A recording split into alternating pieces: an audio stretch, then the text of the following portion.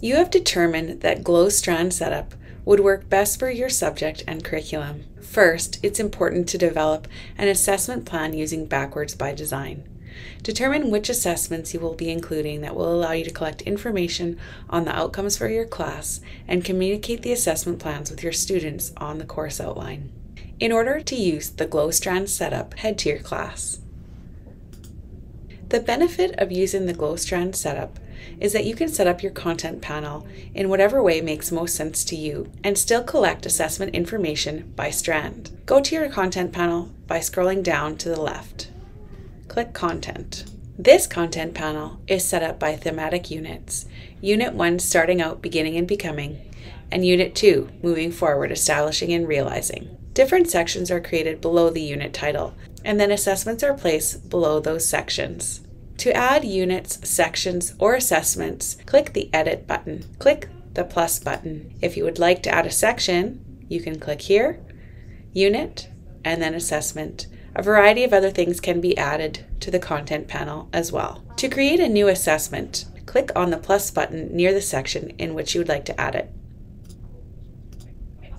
Create a title for the assessment. Using the Outcomes Picker, attach outcomes to your assessment.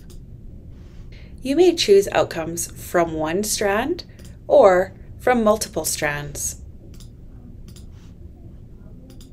Beneath Scheme, you may choose either Outcomes Out of, Outcome High School Achievement Scale, or the rubric option if you have a rubric you would like to attach to this assessment. If you choose outcomes out of, it will allow you to put a mark for each of the outcomes you are assessing. If you choose outcome high school achievement scale, you will be using the high school achievement scale for each of the outcomes you have selected. I'm going to use outcomes out of. Here you will see each of the outcomes I selected from the outcomes picker show in the assessment form. This is where you will put the out of for each of the outcomes for this particular assessment. You can also change the individual weighting for each of the outcomes. Click Save. Now let's go to the Edit Weighting section. You can get there by first going to the gradebook or by clicking this down arrow in the top right hand corner.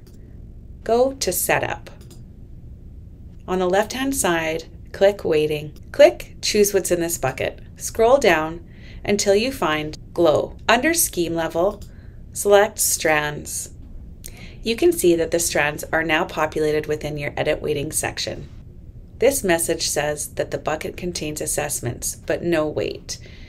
It is now time to weight your buckets or strands using your professional judgment or your department's previously agreed upon weighting.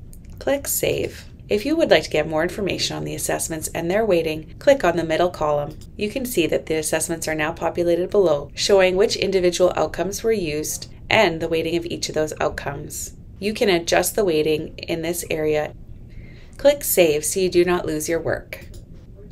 Let's go see how this looks within the gradebook.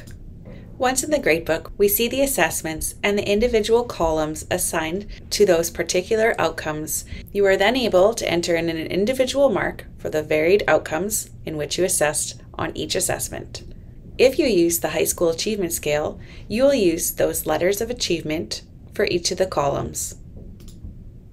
Once your assessments are in your gradebook, remember to click the blue Share button to increase clarity and transparency in the grading and assessment process.